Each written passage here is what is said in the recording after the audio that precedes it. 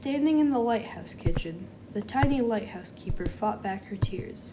Her back was bowed from years of stoking fires, climbing stairs and catwalks, and carrying buckets in the cold. She had spent almost every night for the past 43 years awake and watching, protecting the sailors and ships out on the lake. How would she ever learn to close her eyes and rest at the end of the day? But Harriet understood. She was 80 years old. It was time.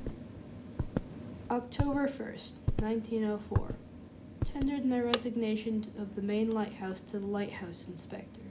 The same to take effect October 13th, 1904. October 8th, 1904.